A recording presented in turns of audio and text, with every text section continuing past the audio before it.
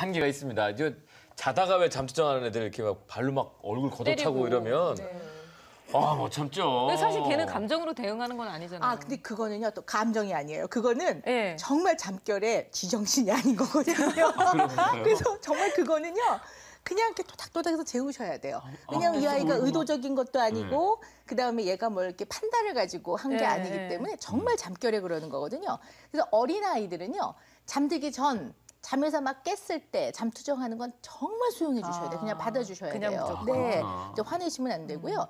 근데 예외가 있어요. 이렇게 말로 하지만 되게 예외되는 상황은 어떤 거냐면 애가 좀 난폭할 때가 있잖아요. 뭐 화난다고 뭐 이렇게 확 던지고, 던진다든가 예. 아니면 뒤로 벌러덩 너- 이제 어. 뒤집어져서 막 꽝꽝 찢거나 막 발길질 어, 맞아요, 하거나 맞아요.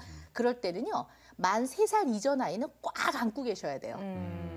근데 만 세 살이 넘으면 이제 좀 가볍게 잡고 엄마가 이건 안 되는 거야 라고 하면서 기본적인 통제를 몸으로 가르쳐 주셔야 되는데요. 네. 근데 꽉 이렇게 안고 계실 때도 아이가 왜 막 감정이 극도로 폭발했다가 조금 줄어들면서 음. 이렇게 되는 이 과정을 같이 해주셔야 돼요. 아. 그래서 조금 수그러들면 그렇지, 조금 진정해, 그렇지. 그러면서 이걸 같이 해, 해주셔서 음. 아이가 좀 진정을 하면 잘했네. 어 이렇게 하는 거야 이렇게 하고 네. 이제 말로 해봐 네. 이 과정이 길게 걸려도 그렇게 하셔야 돼요 근데 대개는 요까지 못 가시더라고요 못 가죠. 네.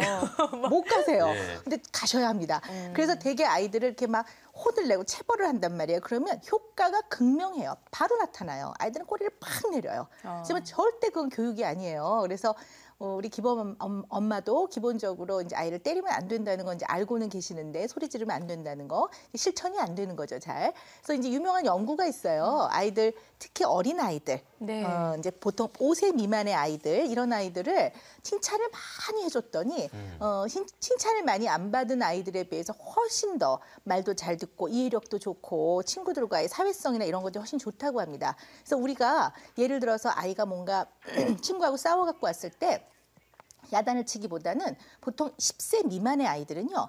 너 지난번 보니까 누구랑 참 잘 놀던데 걔하고도 좀 임- 한번 이렇게 해볼래? 이, 이렇게 칭찬을 동원한 음. 어떤 어, 교육이 훨씬 도움이 많이 되고요. 네. 만 나이로 한 이제 어, 10세, 11세, 특히 12세가 넘으면 초등학교 고학년이 되면 그때부터는 정확하게 지적을 해주시는 게 좋습니다. 그것이 훨씬 교, 어, 교육적이에요. 예.